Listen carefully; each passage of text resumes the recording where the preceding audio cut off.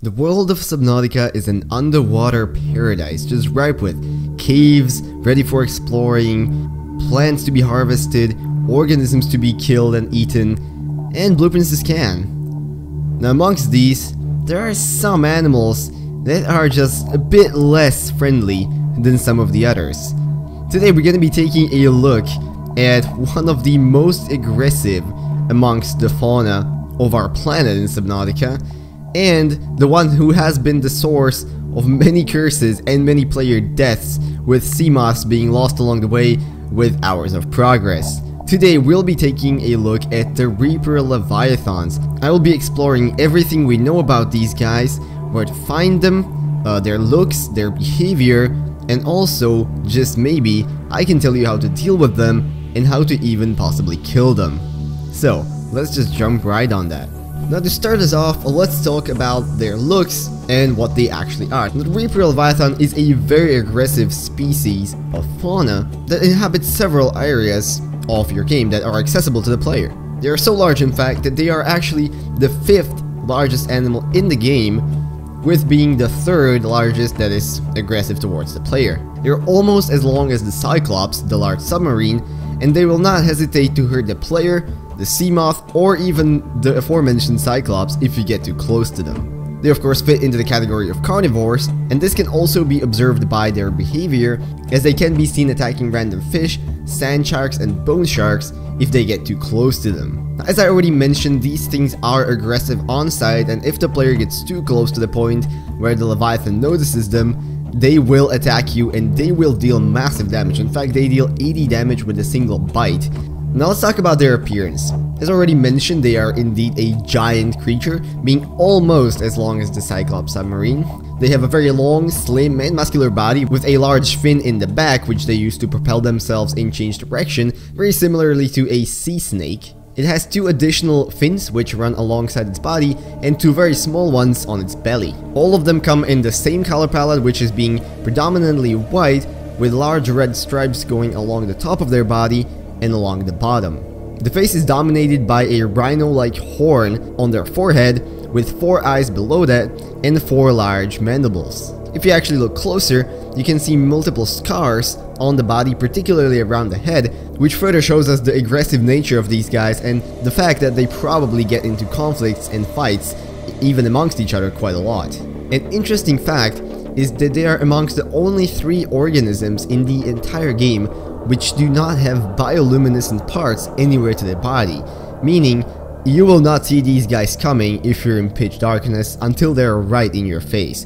which adds yet another layer of scariness to them, but also kind of shows us how they've been able to survive and develop as this top tier predator, especially in the lower depths that they inhabit.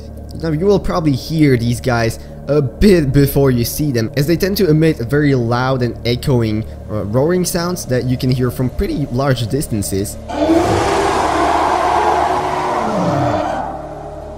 In fact, if you read the databank entry, it will actually tell you that these roars serve as a sort of echolocation. If it decides to attack you, there's also a pretty solid chance that it will circle you for a tiny bit before attacking you, often trying to go for jabs from the back where the player is not suspecting it. Now besides just being able to deal massive damage with its bites, it can also uh, grab the Seamoth and smash it along the seabed causing additional damage and when fighting with the Cyclops, even though it technically cannot grab it, it will repeatedly smash into the submarine, causing heavy damage and potentially destroying it over time.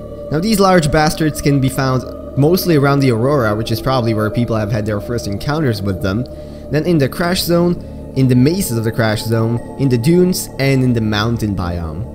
They are active during both the day and the night, so you're not going to be sneaking alongside of them. And they are absolutely guaranteed to haunt your nightmares ever since you get attacked by one, your submarine gets destroyed, and you lose hours of progress.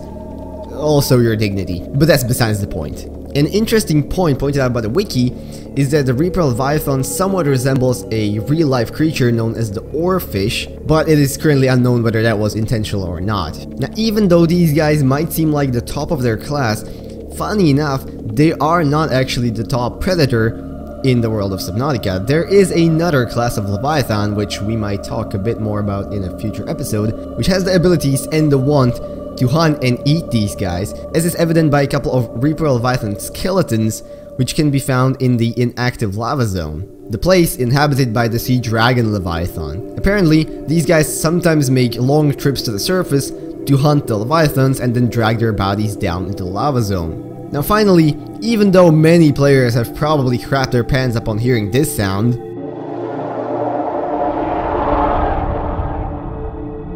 it doesn't actually have to mean that you are screwed because there are ways to kill these monsters, even if they are pretty dangerous. The main means of defense, if you're not really intent on killing them, but simply surviving, is of course going to be the stasis rifle, as if they are hit by it, it will stun them and they cannot move for, you know, as long as the stun lasts.